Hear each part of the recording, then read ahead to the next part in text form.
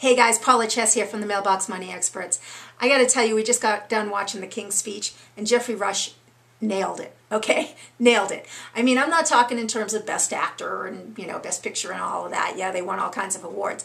I am talking in regards to how it relates to you as an MLM leader. That's right, you. The, the lines in here, I had to come back and write them down, and I, I wrote an article about it. It's on the other side. But um, I had to write these lines down because they so relate to some of the things that we go through every single day in the trenches. There's two things that Geoffrey Rush portrayed in this film that basically you need to have as an MLM leader. Number one, you got to have the belief system.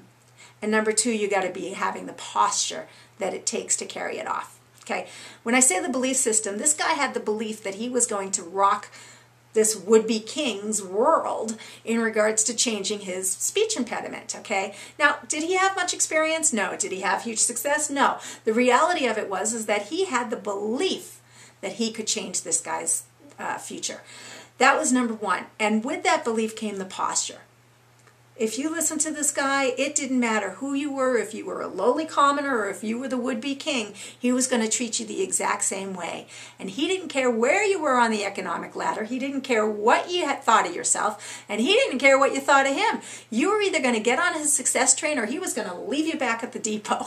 So you guys check out the article. It's right on the other side. Thanks for stopping by. Take care.